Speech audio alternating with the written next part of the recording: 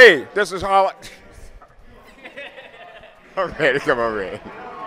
Hey, what's up, players? This is WWE Hall of Famer Teddy Long, and I just want you to know that you're watching the Jeffrey Show live, and that's real talk, players.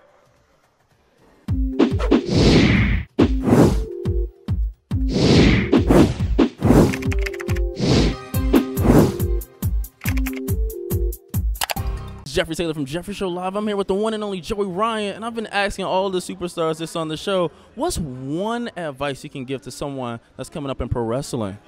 Uh, well, I think what worked for me is uh, trying to wrestle as many places as possible in front of as many people as possible, different shows, different promoters, different wrestlers, because a lot of wrestling is uh, reputation and word of mouth.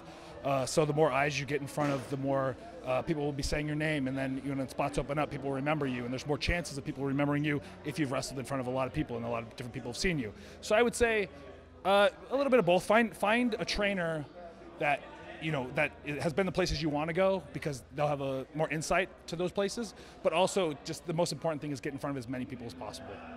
Nice. I want to thank you so much for taking the time out to get that advice, Joey. Great job tonight here. Sorry, I have to cut it short, but I want to. I want to go put my adult clothes on. Always, man. We know. We know. Thank you again, man. Thank you. Thank you.